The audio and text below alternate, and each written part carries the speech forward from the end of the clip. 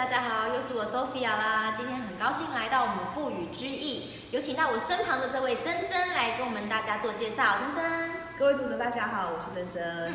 珍珍，我们现在的基地位置是在哪边呢？我们居易的基地位置是在双溪国小旁，嗯，双峰二街上面。是。那我们周边的生活其实。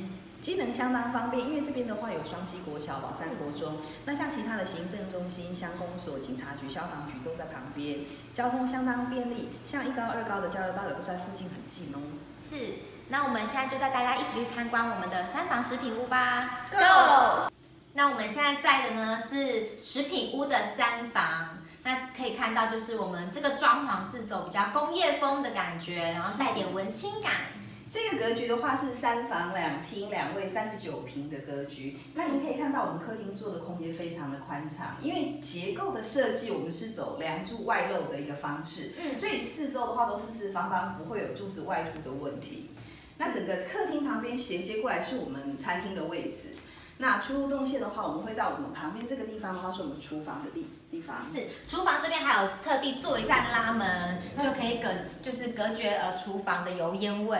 是这样子的话，在烹饪的过程的话，你就不用担心会有油烟外漏的问题。那我们现在在的是主卧室的部分。主卧室你可以看到这个空间相当的宽敞，在房间的正中央我放一个 king size 的床，进来的感觉还是相当的舒适，不会有压迫感。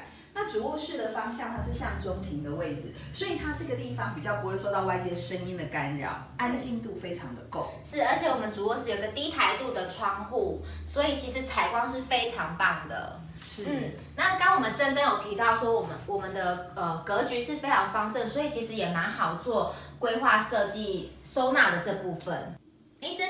我发现其实我们三房的两间次卧啊，空间感也是非常足够的。即便说放了这个深度很够的衣橱进去，然后我们的走道还是不会说很狭小。对，因为我们这个个案的话，它的公设比比较低，所以你可以看到它室内的话相对就会比较宽敞。两个次卧室的部分都可以摆双人床进去，还有衣柜的空间。嗯，那我们现在看到是主卫浴的部分。